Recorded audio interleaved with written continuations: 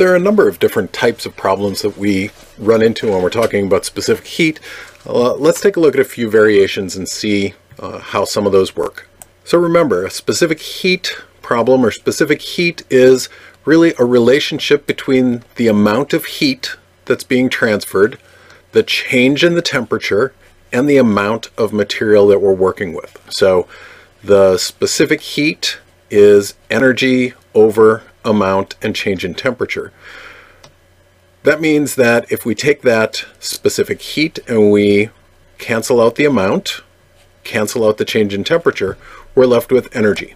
Let's start with this problem. How much energy is involved? So how much energy, how much heat must be removed from a 62 gram block of aluminum to change its temperature from 46 to 9 degrees Celsius.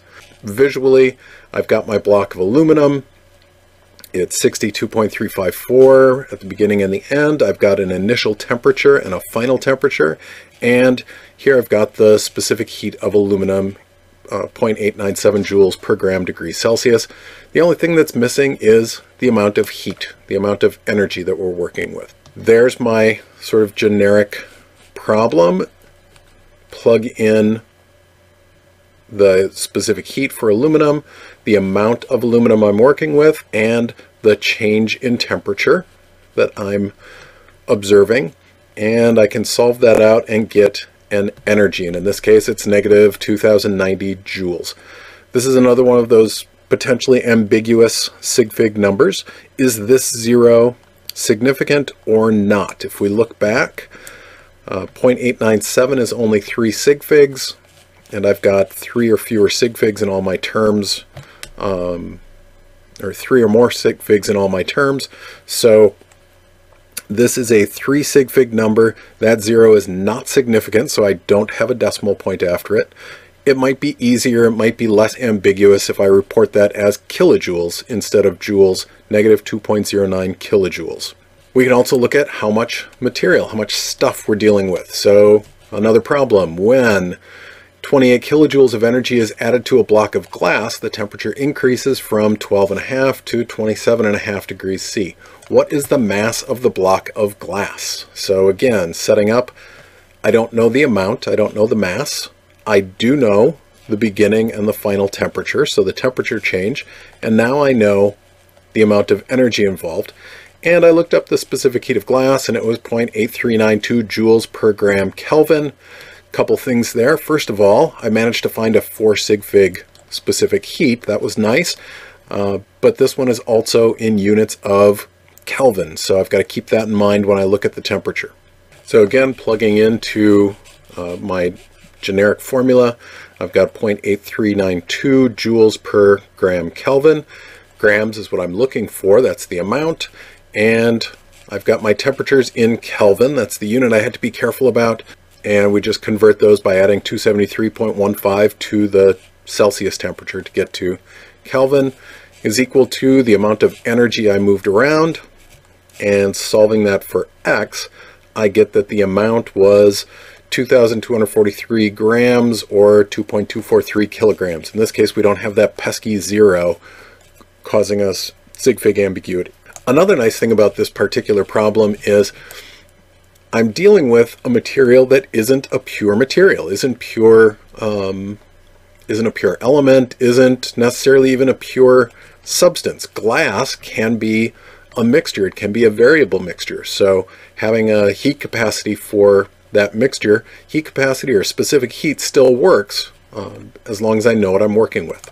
We can also start to explore the temperature part of these problems. So how cold does it get when 1.277 kilojoules of energy is removed from a 327.629 gram block of tungsten, initially at 73.91 degrees C? What's the final temperature of the tungsten block? So 327.629 grams is my mass.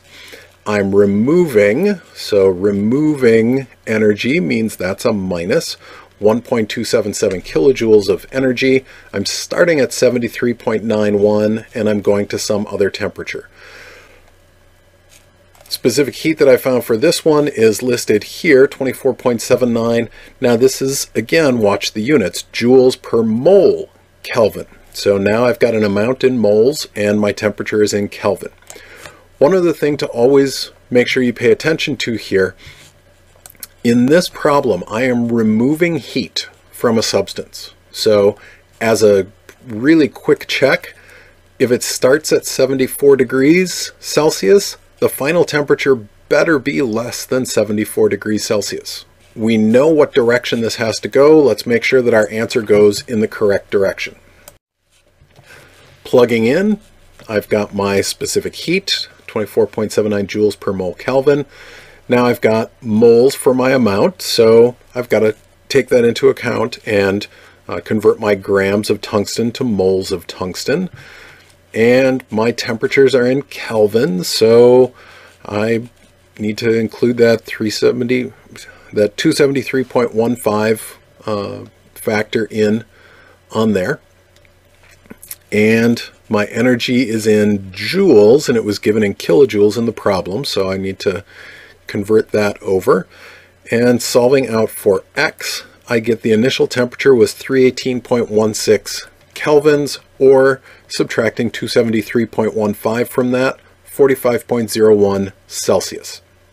Now, as that double check, I started at 74, I removed a bunch of energy, and I went down to 45. So the direction on that temperature change makes sense. What about the other temperature?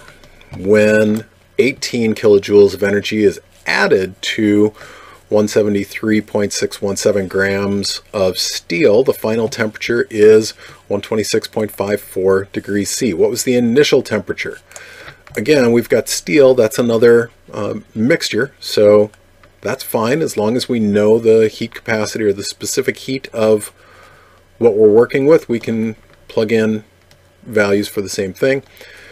173.617 is my mass. That's how much energy is moving. I don't know what temperature it started at, but I know what temperature it ended at, and I've got a specific heat. This time, the specific heat I found was in kilojoules per kilogram times degree C.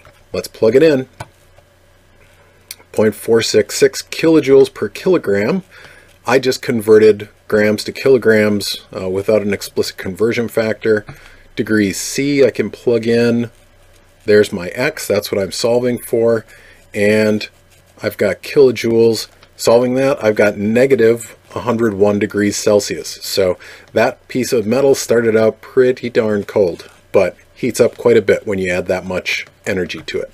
And finally, what else is missing? Now here we've got a, a situation where I have a 38 gram block of some metal, and when I add 174 joules of energy to it, it increases in temperature from 17.62 to 52.92 degrees C.